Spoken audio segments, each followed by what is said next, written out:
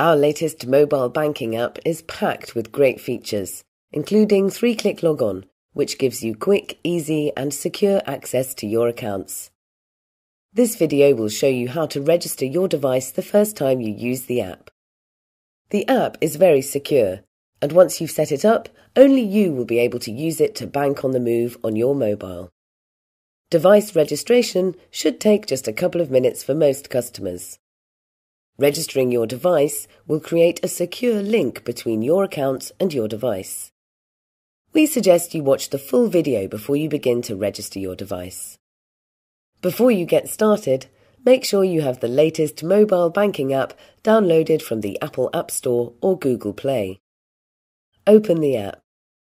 After you've read the initial information screens, you'll be able to get started. Enter your internet banking username and password and hit Go. You'll then be prompted to enter characters from your memorable information. Next, we'll need to call you to check it's you. Please select which of your previously registered numbers we should call you on. A four-digit code will now be displayed on the app. Make a note of this code and we'll give you a quick automated call.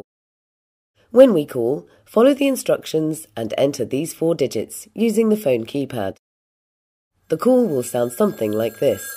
Hello, this is an automated call from Lloyds Bank to authorize the registration of your mobile device. Using your phone, please key in or say the four digit code displayed on your mobile banking screen now.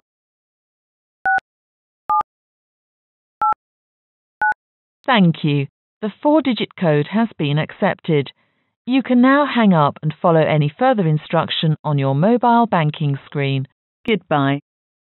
Congratulations! You've now registered your mobile and are ready to bank with us on the move.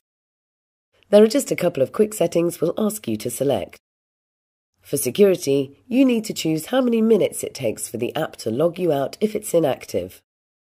After that, we'll ask if we can use your current location. So, for example, we can always direct you to your nearest Lloyds Bank cash point or branch. Once you've made your choice, you're all set to bank securely on the move using your mobile app.